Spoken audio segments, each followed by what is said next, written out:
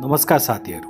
आज हामी यस भिडियोमा अफ्रिकी एकता सङ्गठन organisation of African unity OAU यसका सिद्धान्तहरू उद्देश्यहरू र अङ्गहरूका बारेमा जानकारी दिन गइरहेका छौँ। अफ्रिकी जनताको स्वतन्त्र आन्दोलनको परिणामस्वरूप अफ्रिकी महाद्वीपका विभिन्न स्वतन्त्र अफ्रिकी राष्ट्रहरू उत्पन्न भएपछि आपसी सहयोगको आवश्यकता अनुभव गरी तिस अफ्रिकी राष्ट्रहरूले इथियोपियाको राजधानी आदेश आवावामा एक अन्तर्राष्ट्रिय सम्मेलनको आयोजना गरेर चार्टर अफ ओएयु पारित गरी अफ्रिकी एकता सङ्गठनको स्थापना सन् उन्नाइस सय त्रिसठी मे पच्चिसमा भएको हो। उपनिवेशबाट भर्खरै स्वतन्त्र भएका राज्यहरूद्वारा स्थापित यस सङ्गठनको चार्टरको प्रस्तावनामा आफ्नो भाग्य आफै निर्धारण गर्ने अधिकार right of all people to control their destiny मानिसको अहरणीय अधिकार हो भन्ने कुरा प्रति सहमति जनाउँदै कडा परिश्रम पश्चात प्राप्त स्वतन्त्रता सम्प्रभुता तथा क्षेत्रीय एकताको सुरक्षा गर्दै सबै प्रकारका उपनिवेशवाद विरुद्ध लड्ने प्रतिबद्धता जाहेर गरेका हुन्। समग्र अफ्रिकाको प्रगतिको लागि समर्पित यस सङ्गठनका सन् उन्नाइस सय त्रिसठीमा बत्तिस सदस्यहरू थिए भने हाल त्रिपन्न सदस्यहरू रहेका छन्।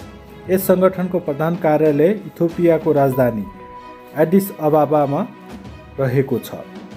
यसका सिद्धान्तहरू सामूहिक सुरक्षाको सिद्धान्त असङ्गताको सिद्धान्त अन्तर्राष्ट्रिय विवाद शान्तिपूर्ण समाधानको सिद्धान्त आर्थिक सहयोग विवादको समाधान वार्ता र मध्यस्थताको सिद्धान्त सबै सदस्य राष्ट्रहरूको सार्वभौम समानताको सिद्धान्त हस्तक्षेपको सिद्धान्त रहेका छन्। उद्देश्यहरूमा अफ्रिकी राष्ट्रहरूमा एकता अभिवृद्धि गर्नु आपसी सहयोग र प्रयासद्वारा अफ्रिकी जनताको जीवनस्तर खुसी बनाउनु अफ्रिकाबाट सबै किसिमका उपनिवेशवादलाई निर्मूल गर्नु संयुक्त राष्ट्रसङ्घको बडापत्र मानव अधिकारको विश्वव्यापी घोषणापत्र अनुरूप राष्ट्रिय सहयोगको वृद्धि गर्नु माथिका उद्देश्य प्राप्तिका लागि निम्नलिखित क्षेत्रसँग सम्बन्धित नीति निर्धारण समन्वय गर्दछन्।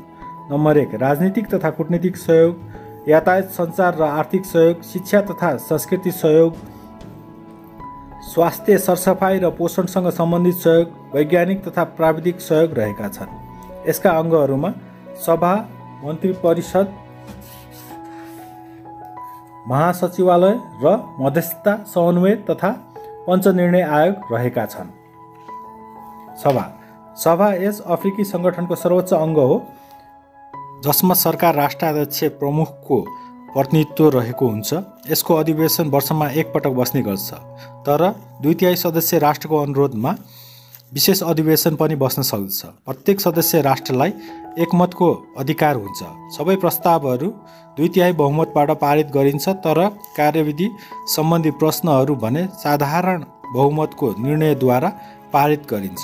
सभाले आफ्नो नियम र कार्यविधि आफै तयार गर्दछ। मन्त्री परिषद यो सङ्गठनको कार्यकारी अङ्ग हो। यसमा सदस्य राष्ट्रका परराष्ट्र मन्त्री वा सरकारद्वारा नियुक्त अन्य मानिसहरू रहन्छन्। प्रत्येक सदस्य राष्ट्रलाई एक मतको अधिकार हुन्छ। परिषदको बैठक वर्षमा दुई पटक बस्दछ र दुई तिहाई सदस्य राष्ट्रको अनुरोधमा विशेष बैठक पनि बस्दछ। परिषद आफ्नो कार्यको सम्बन्धमा एसेम्ब्लीप्रति उत्तरदायी हुन्छ। महासचिवालय। महासचिवालय यस सङ्गठनको प्रमुख प्रशासनिक अङ्ग हो।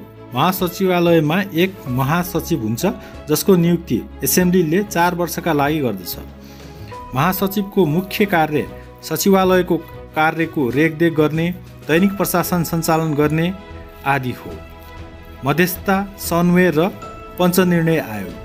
चार्टरको आर्टिकल उन्नाइसमा यस आयोग सम्बन्धी व्यवस्था रहेको छ। उक्त आर्टिकल अनुसार यस आयोगमा सदस्य राष्ट्रहरूले आपसी विवाद शान्तिपूर्ण ढङ्गले समाधानको लागि पेस गर्दछ। तसर्थ सदस्य राष्ट्रहरू बिचको विवाद शान्तिपूर्ण रूपले समाधान नै गर्न नै यस आयोगको प्रमुख कार्य हो। यसको गठन तथा कार्य सम्बन्धीको नियमहरू सभा एसेम्ब्लीद्वारा पारित गरिने छुट्टै प्रोटोकलको आधारमा निर्धारण गरिन्छ।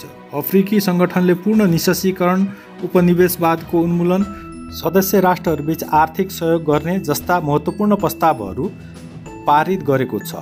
सन् उन्नाइस सय अडसट्ठीदेखि यस सङ्गठनले प्रगतिशील प्रकृतिका स्वतन्त्रताका आन्दोलनहरूलाई सहयोग गर्ने निर्णय समेत गरेको छ। यो भिडियो अन्तसम्म हेर्नुभएकोमा धन्यवाद छ र मन परे लाइक र सब्सक्राइब गर्न नबिर्सिनुहोला। नमस्कार।